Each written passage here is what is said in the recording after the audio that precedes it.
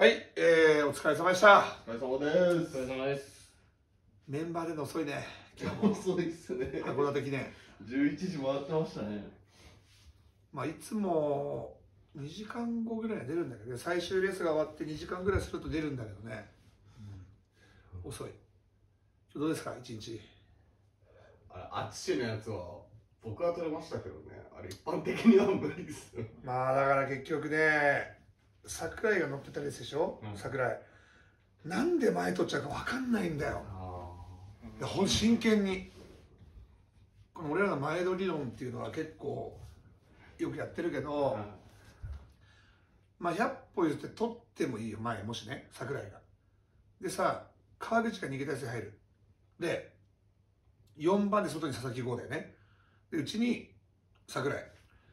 あそこでさ引いちゃダメなんだよね。引かなければ佐々木剛がもう切るかもしれないじゃん。一回。うん、そうですね。そうすれば桜井ももう一丁ほらドン。でしょ？あれをさ切らないあの並走しないで下げて7番手で、まあ、山崎は一体どういう作戦を授けてんだと。いや、ない俺がですね、山ちゃんですかないのか。山ちゃん、頭良くないじゃないですか。まだそういうことになっちゃうんだよな、は後ろまあもう大御所ですよ大御所。43歳。うん。タイトルねいっぱい取ってきて人の後ろ回ってきててそれであんだけ桜井が初日さいいレースやって逃げ切ってさまあ嘘にも武田が食えないんだよ。まあちょっと低調っていうかもう落ち目だけど、でもさ後ろ攻めでもいいからさ逃がしてほしかったよね今日ね。俺は桜井から書いたからちゃんと昨日これ言った通い。りねね。はい。まあもちろん外れだけど逃げてまあ要するに後ろ攻めでも踏ませて山ちゃんが仕事やってっていうふうに期待したわけ俺は。いやあまりにもねちょっとひどいなってがっかりしたよね。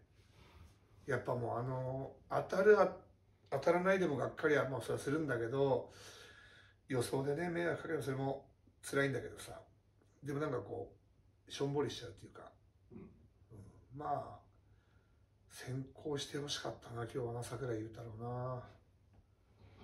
まあ明日もね桜井は上田拓也とかと一緒か。そうですね。なんか自力型いっぱいいたっけな。うん桜井坂本山ちゃんですか。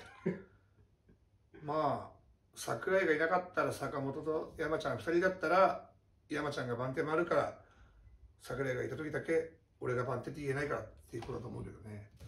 でも結構迷うよね。今日番手だった人が3番手回ってって。明日逃げるよ。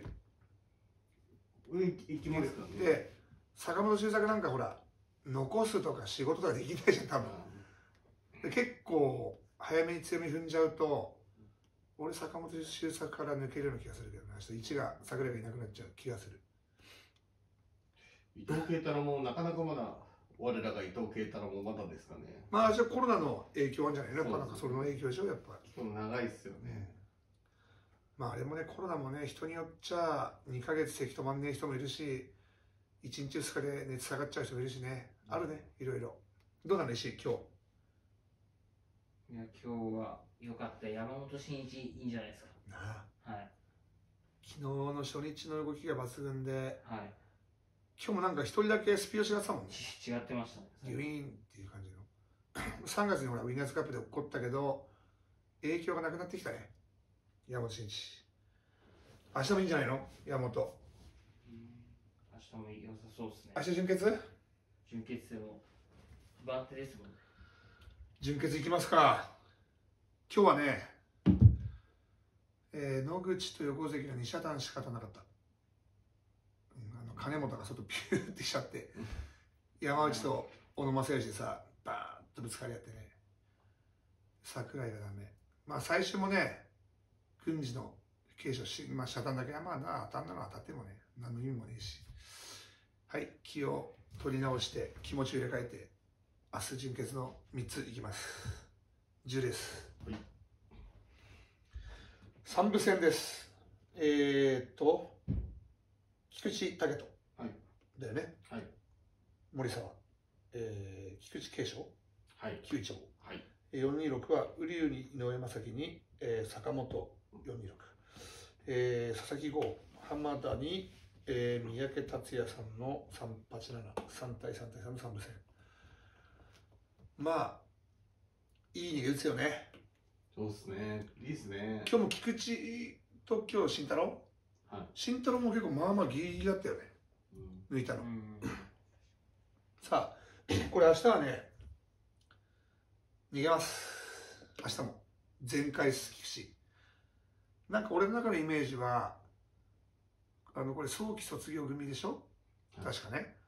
でやっぱりかましたりまくったりが好きなのかと思いきやでも逃げるよね。逃げてですまあ、先行選手って感じ俺はで大宮の記念も俺平原五段まで頑張ってさ、まあ、うまく引き出してっていうのもあったけどこれはね漢字の競輪をやる選手じゃないの？うん。そうですね。森沢でしょ？普通に展開は。そうですね。で瓜生はまあねレースは利口だからねまあ中断取りに来ますよ。でほらおそらくここは中断取れないよ。3は。佐々木剛はまあね。あんまり組み立てうまくないよね。ここは。い。うん、そうですね。うん、でまあ前取って突っ張るとかあんのかな森沢が。そこまでするメンバーじゃねえけどな。でも気合がいいからね菊池が、うん、今日ねあ明日これね一つの懸念があります。これ怖いの。瓜生がさ川崎記念の最終日に深谷直競り行って大石健士の後ろで瓜生が取って抜いて頭なの。で競り負けた深谷がピューってきちゃって。あれ結構ツイッターで炎上したんだよな。うん。なんかあのまあ格が違うだろうって深谷のとこ直で来やがってっていうコメントが多かった気がする、うん、でまあいいじゃない頑張ってって声もあって。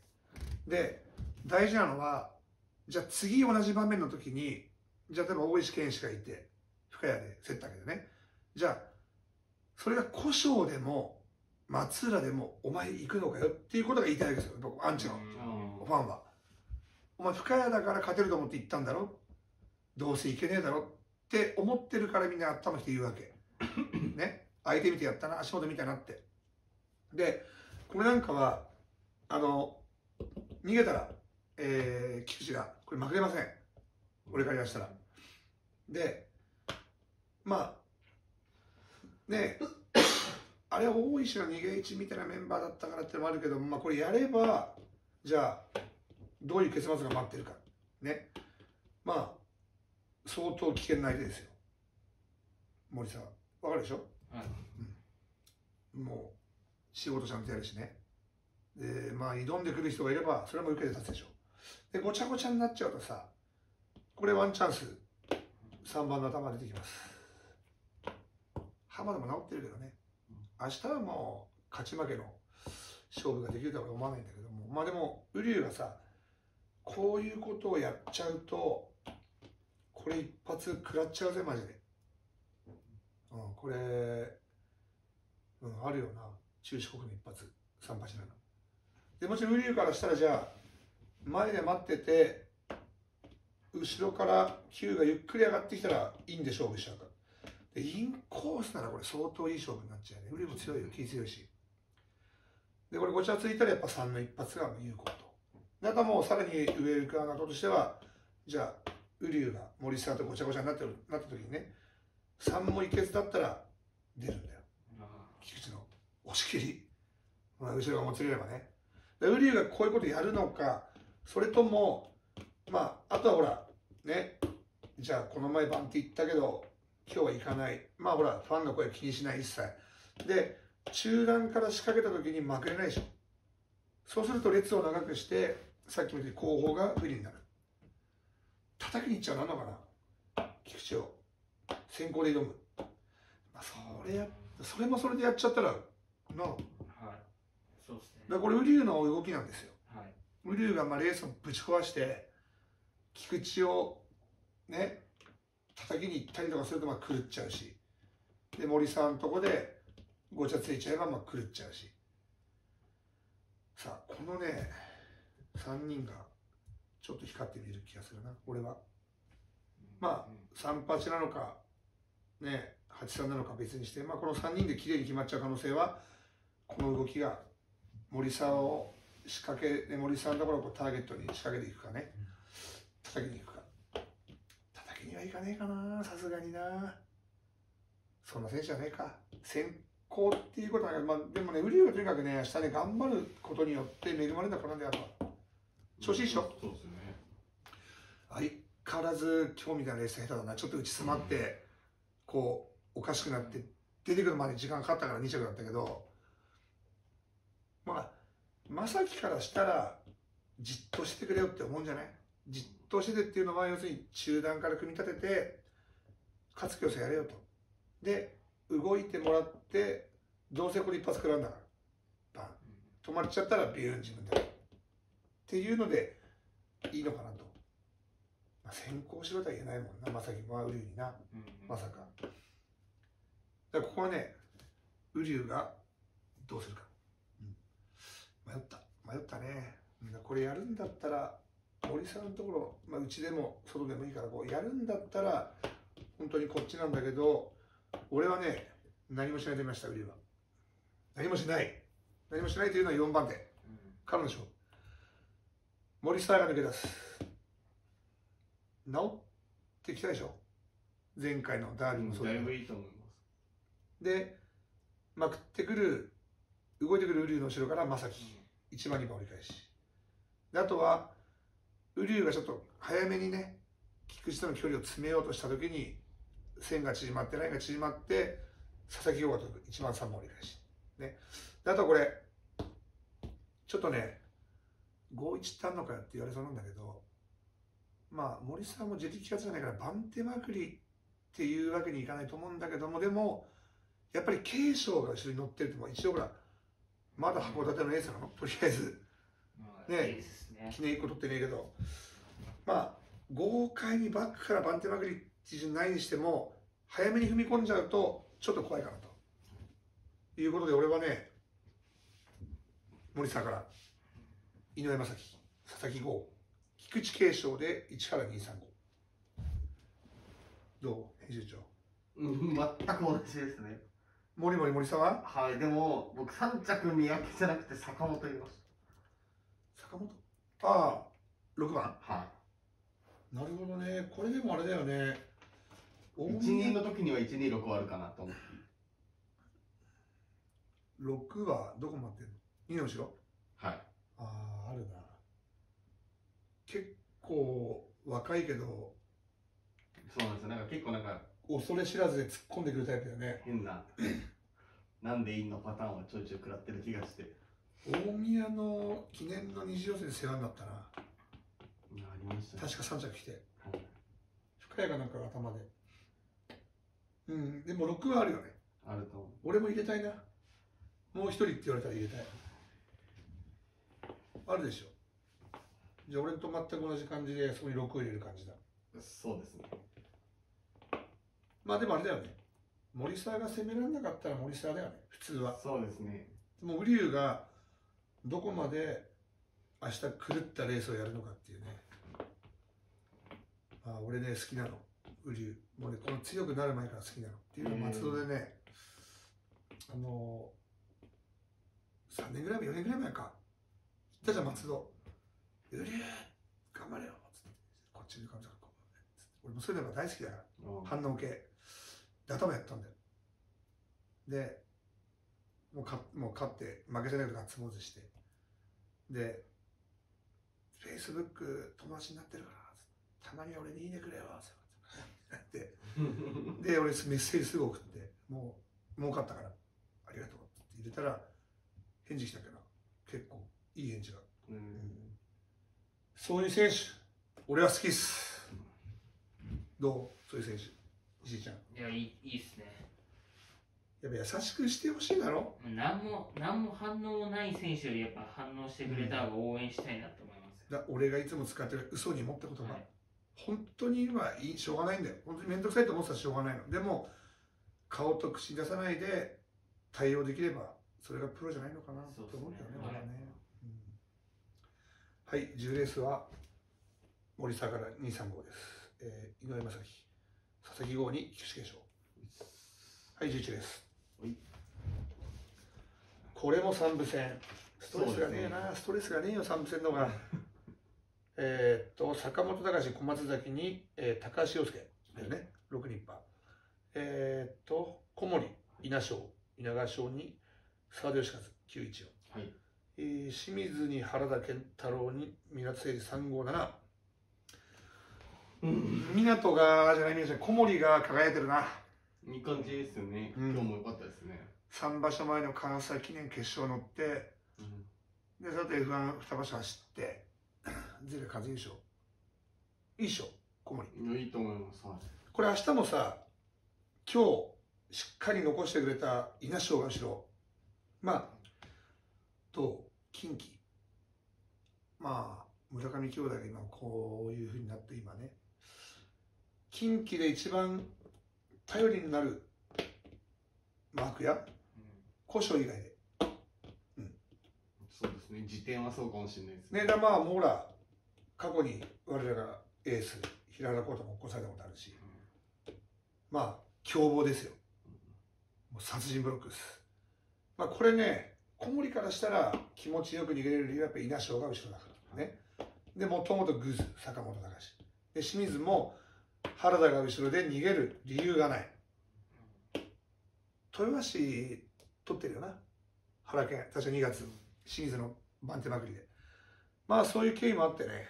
逃げるのは普通にこれ考えたら小森ですよ、ね、ただただね。これね。大物背負ってるとここ一番行くんだよな。結構取らしてるイメージあるよ。ハイパーグズなイメージですけど、うんあの例えば、まあ、今も逃げ数も減ってきてるし、まあ、足も落ちてるんだけど山崎を勝たせた伊藤記念もう45年経つかな。あの頃もグズだったよもちろん。でもねやっぱここね怖いのはまあここも挑んじゃう。もし。あ小松崎はほらさもう懲罰の G1 級とまで言えんのか言えないのかこれもね昨日も言ったんだけどね。分かんないわけですよ。強さが。うん。うんあのまあもちろん強いから、まあ、G1 の決勝も乗ったことあるんだろうけどもそれがなんかこうあんまりこう湧き出てこないような。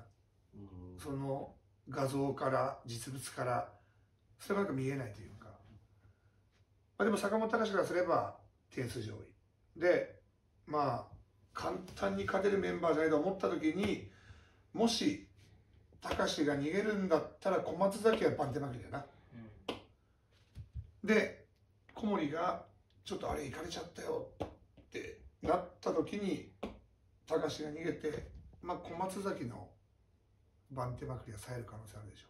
うん。そうですね。どうなの編集長あグズなイメージ坂本隆。グズいやいや本当グズだなやっぱり。って明日言ってる気がしていて。終わった後にね。そうでもグズグズしてるんだったら清水もまあ3着入ればっていうところだから行っちゃったりもするのかなと思うんですけどね。でグズグズっていうのはまあこういうとこでのんびりぐずるのか。ね。それともこう並走の中でぐずるのかっていう。で清水からしたら清水がどんだけ坂本隆を評価してるか分かんないけど俺は基本は素質あると思うね。足は。今落ちてるけど。で清水が全くこの6を評価しなかったらまあ別にお前に真ん中上げてもって思うのかね。それでもほら今日外並走からかましたんだよね。ああそう。ですねあれやっぱり立派だよね。あそこ並走しのいで、である程度時が来たら行くよっていう。やっぱり SS さんの、まあ、力ですよ。まあこんなところで休んで売ってらんないとね下げたら弾かれちゃう。こうなっちゃうとやっぱ稲賞有利だよね。そうですね。いいこれは。から。で狂うのはさっき言ったように高志がエンジン全開でぶったたいちゃう時に、まあ、小松の親分さんですよ。小松崎、うん、まあほら3553なんかみんな買うんだから本命とはねこれまあ俺は軸は稲賞な気がする。ただ高志がエンジン全開の時は小松崎も容赦なく番手まくりで明日は台頭してくると。でもちろんねごちゃついちゃえば高志が坂本隆が、えー、小森とねこれぶつかり合っちゃえばもうペローっと一発まくっての、ね、本命党がよだれを垂らして喜ぶ車検ですよ3号さんあとね一つ。ね。明日はね今日ほら小森が逃げて稲庄に残してもらって。でも誰も来なかったよ横までね。今日。で明日はさ手強いじゃん敵は。今日より。はい。だ清水にしてもじゃあ坂本隆にしてもこう迫り来る可能性があるね。ちょっと忙しくなるでしょ。今日よそうですね。りで、まあ、配当的には坂本隆が逃げた時の小松関も面白いんだけども小森の押し切。り実はこのねこういう目は俺好きなんですよ。掛け屋が結構上り調子の掛け屋でオッズでまだね現れてない時にまあ後ろの仕事で助かっちゃうっていう。言ってみわかる。わかります。わかりますよ。本当に？でこれでここじゃあもう原健が清水迫ってきてここで清水が一発食っちゃって清水も飛ばないじゃん。戻ってきてぐーってやってああ押し切っちゃった。直線短いからね。51メートっていうのを俺は考えたりもします。だからまあうん。基本荒れる要素はいくらでもあるのかなっていうまあ俺はもう自分で買うにしましても355さ絶絶対買わない。そうですね。それは買わない。俺はね。自分で買うとしても買わない。予想にも入れない。何を？編集長は。狙い目にします？これ稲庄からうん。小松崎清水小森。で折り返しあり小松崎。はい。稲庄が軸っすかそうですね単純に小森が逃げるし小森が強いからはいさあ石井君いや、僕も稲庄っすね。稲庄行く？はい。何行きますか？小も小森の2着とかもあると思います。あるよまあ、あとまくってくる清水ですかね。はい。まあさっきみたいに本当に明日はねこれ次第です。坂本。隆君がだんまりしてくれればまあそっかでもあれだなだんまりって7番手でだんまりされちゃうとでもあれだよね2人は通さないでしょ。3号でまくってきても稲庄は清水を食らわしに行くかそこが空振ってもここでやっぱり一発合うよねタイミングね。でも清水が4番手の時は3-1ですよ。ま1-3抑えで。清水も多少坂本隆がね、4番手で頑張る時は清水も明日手こずるっっていうそういう解釈でみんな意見が一致しました。我々メンバー一緒です、明日。よかった稲庄だよ。俺も稲庄、明日は。でも小松崎から行くには、ちょっとやっぱり高志が過去にね、まあ二段掛けの先頭を任されたこともあるけども、今そこまでの足がない、勢いがない。っていうことで、やっぱり信用はできない。で信用できるのは今上り女子の小森。逃げは足まで逃げましょうか。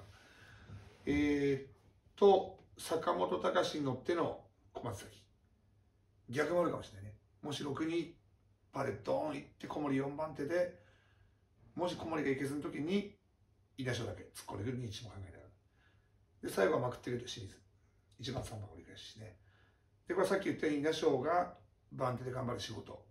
で、小森が報われる。逃げ切る1991考えて。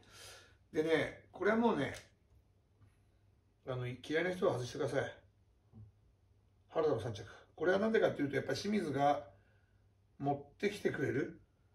で、ほら、止まっちゃっても、まあ、サイド、外。っていう可能性を考えて、まあ、3着には入れてもいいかなと。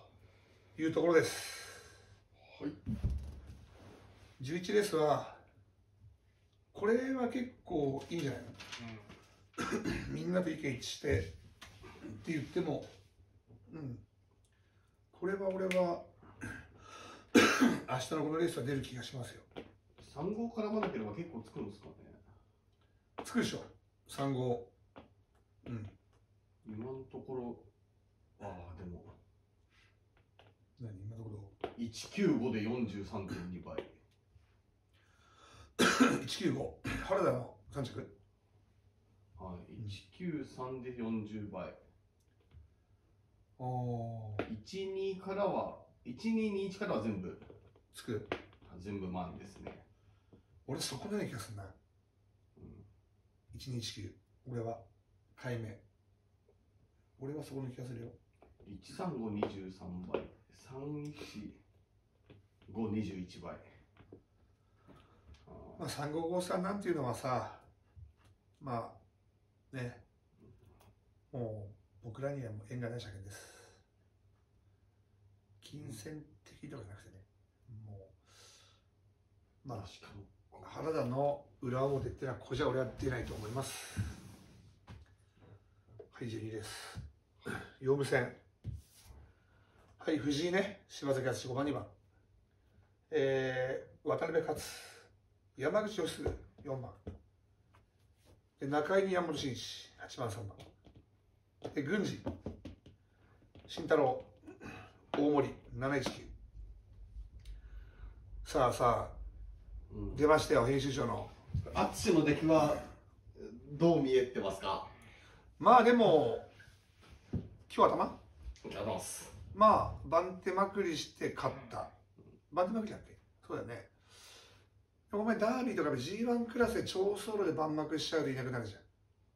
まあ単走路だし、まあ、ある程度まあ足がある戦えるっていう証明にはなっでねこれ強いっしょ。この5番強いよ。藤井ですね。あこれまだ俺先がある選手だと思うよ俺は。出始めとか超世話になったな。どっか記念の決勝乗っちゃったんだ忘れちゃった。どっか乗ってその時も世話になったな。これはしていくでしょ。そうそうもう行かないと渡辺逃げない。そうね。中井も基本グズ。まだ郡司がどう出るかっていうと郡司もでもこれ明日あれだよな。もし今日やったみたいなね。まあこれまで入ればいいや3着まで。とやるときにこれ藤井を叩くのは結構足を使いますよ。719でドンと。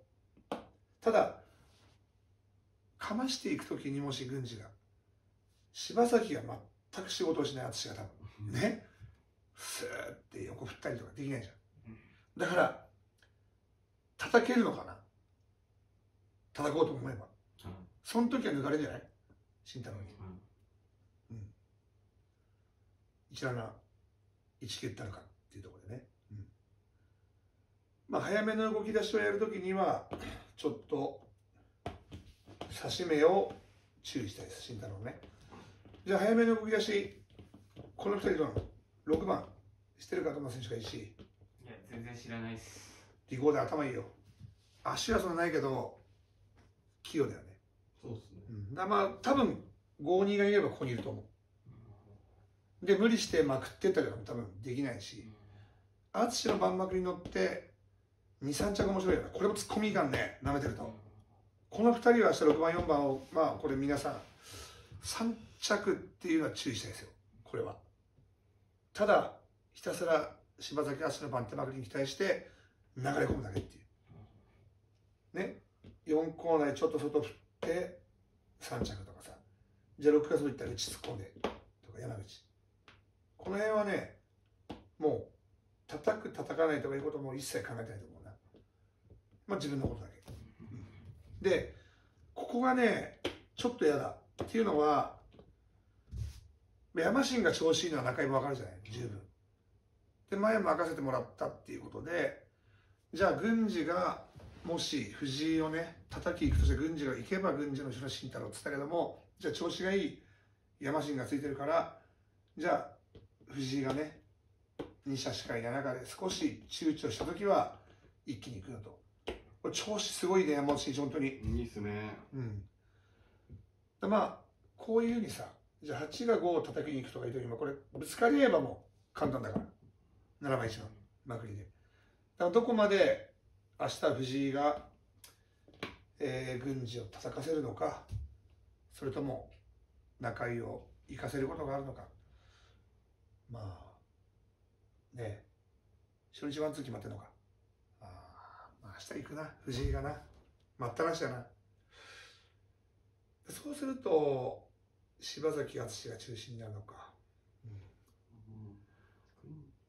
まあ単純にでもさもう予想なんて言ってたら予想するときにさその展開だけをひたすら考える人もいるし俺もそうもちろん展開考える考えるけどあるいは純粋に展開向かうその足がいい時に見とかなきゃいけない選手っているでしょ、もうそうだよね。そうですね。G1 選手なんだこれ。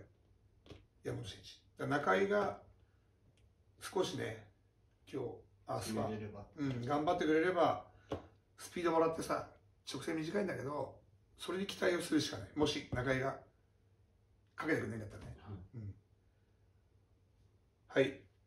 俺はね明日はねあまだ書いてないでしょこれ大森への忖度って軍事がするんですかね。いやそれないと思うよ。俺はあんまり。あやっぱほら軍事もさもちろん本人に行かなきゃ分かんないけどちょっと近況の悪いリズムっていうのを宮杯前には取り戻したいよね。あうん。とりあえず。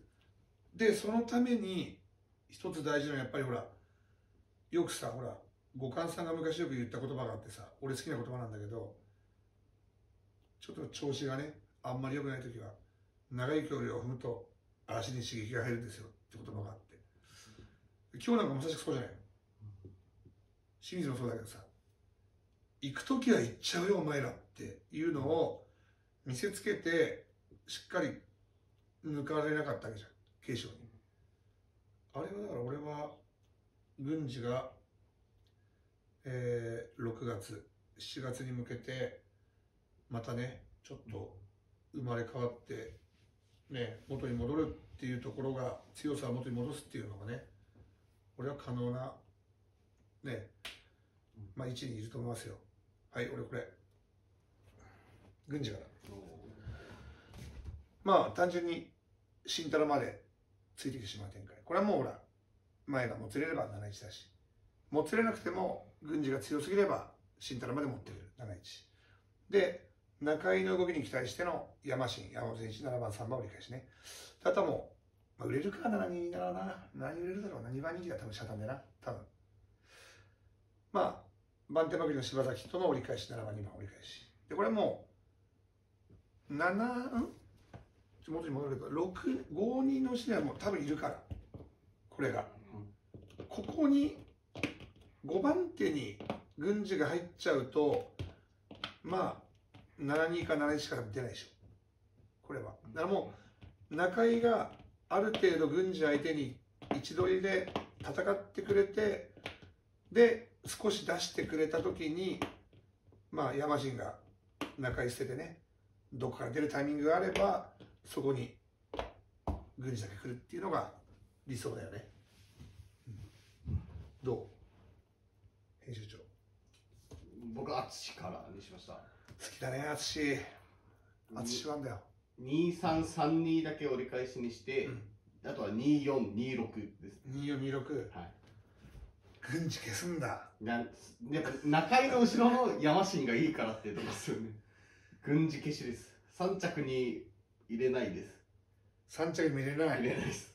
全部消し？消しです。719あえっと1だけ3着入れます。慎太郎だけ突っ込んでくる、はい。なるほどね。あなたが今頃で勇気もらってるんじゃないの？最悪でもその最悪なんか軍でも最近なんか打ち突っ込んだあの平原のやつとかあるじゃないですかね、うん。やばくなったらまあなんとかなっちゃうのかなって気もするんですけどまあだからこれ一つ僕が思うのはですよこれ。ポイント的には藤井が強いってことだよね。そうですね。藤井の引っ張り出しがいいから淳はバリバリ生きるっていう。で山本慎一が調子いい。でこれ83が719より前にいることが前提でしょ？そうですよ。でもじゃないと無理よね。じゃがも出ないよね。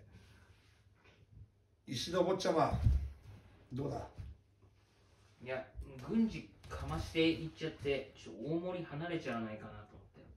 まあ大行っちゃいます今日誰の3番手今日今日も軍事今日は大森今日もそうっすね。軍事だよな軍事逃げてはい。口開いてたよねちょっとね。まあ空いてて。あそう踏み出しとったらいたんだよあいてたまあでもなんとかついてきてってことでしたよね。ただ明日はさはい。7番手から軍事が引いてどうの時に前に仕事人がいないからこれくらいやつがいたら最初から慎太郎のとこじゃなくて大森のとこでって言えばあ飛ばせるけど。で淳が仕事人で横もやれるんだったら大森のとこだけパッて入っちゃうってあるかもしれないけど。まあでもあれだよね。再三言ったように藤井が強いから7一でかます時も意外と軍事は苦しいかもしれないよ。ーうん。で軍事が苦しいってことは慎太郎も楽じゃないし3番手はもっときついんだから何でもいいけどこういう状況だよね。そうですね。